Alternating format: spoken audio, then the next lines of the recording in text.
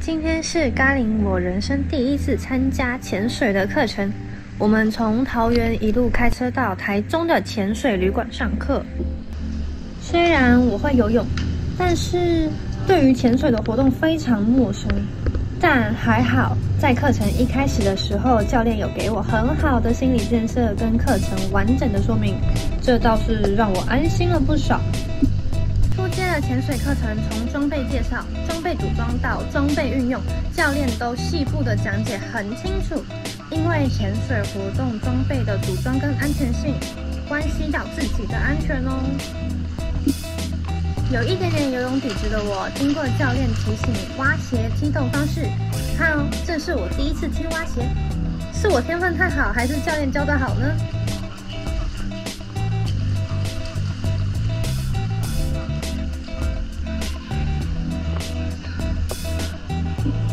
在实际做潜水活动、背上装备之前，最重要的是教练会先帮学生做水性的评估。这个部分对于比如学生的水性状态，或是面镜的穿戴正确性，还有蛙鞋正确的踢动练习，在潜水之前是非常重要的技巧学习过程哦。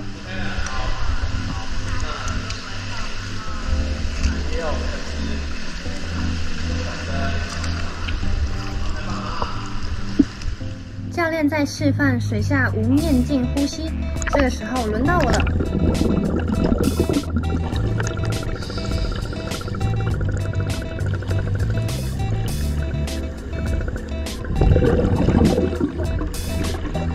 想不到平常没什么在水里面憋气的经验，在教练的指导下，居然轻松的完成了。潜水员很多时候靠的是呼吸来调整自己的中性浮力，大口呼吸让肺部充满空气，身体自然上升；大口吐气，身体自然下降的经验，好特别哦。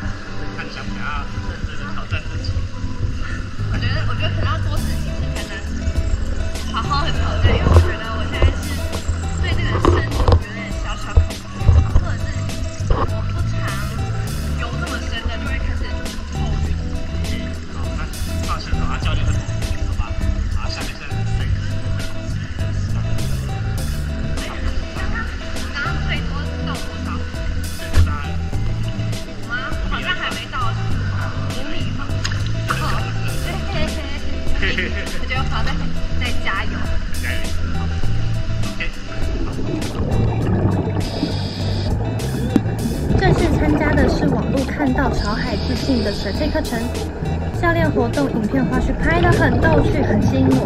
刚好之前也有朋友也是给这位 Elmo 教练上课，所以我就直接报名来参加啦。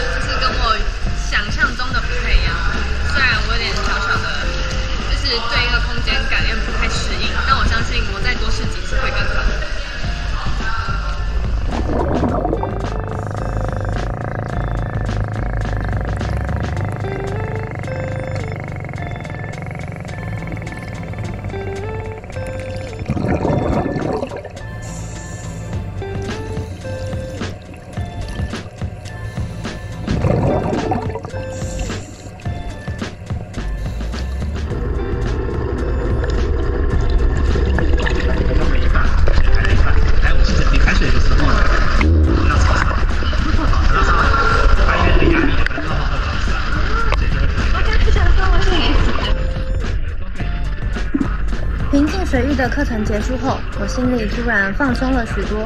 原来学习潜水没有我想象中的困难。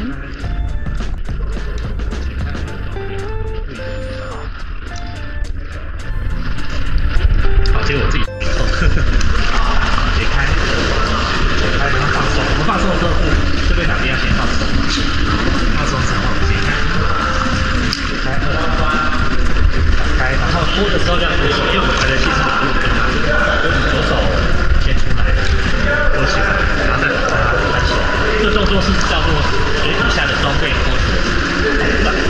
这动作有什么意义的？其实它不一定有什么意义，它只是说把水下的装备放大一点。笑起来。看我做一次，然后把装备脱出来，对起来就会了。还需要感谢聪明如我能找到这位教练，他上课很认真，虽然有一点点的凶，但是其实是为了学生能学到更扎实的技巧。将来我也要像教练一样畅游海洋中，当一只架杠的美人鱼哦。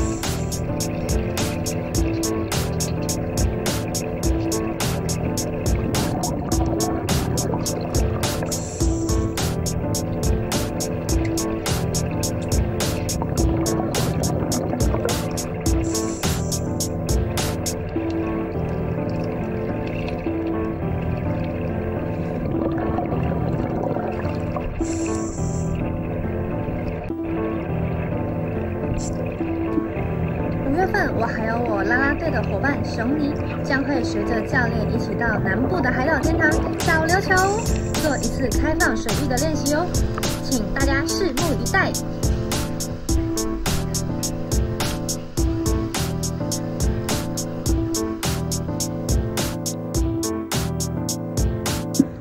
最后在上岸的时候，因为装备泡了水，变得有点重，但是我相信我是可以的。一般女生的力气也是背得动的哦。